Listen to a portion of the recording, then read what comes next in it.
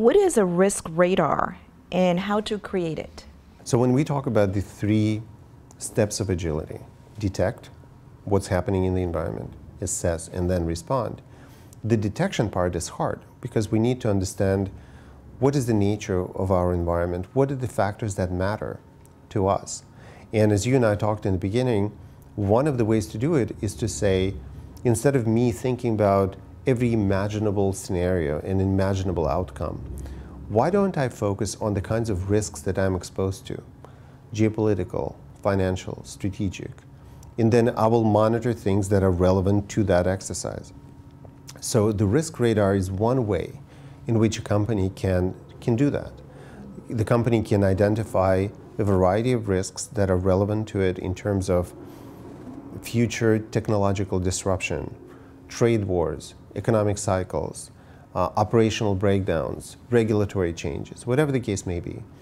And then it can quantify and assess it, and then map it onto what are the kinds of things that could change in the environment that can truly affect our business. So risk radar is a construct that, it, that would come as a familiar concept to financial professionals, some of the business professionals has been really expanded in this book to really help any organization conceptualize it, implement it in practice.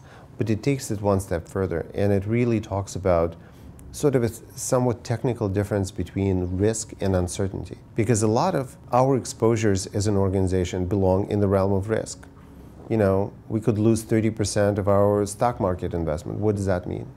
But a lot of it lives in the realm of uncertainty what if artificial intelligence evolves in a certain way that dramatically changes uh, the entire landscape? Or what if breakthroughs in gene editing lead to people living dramatically longer?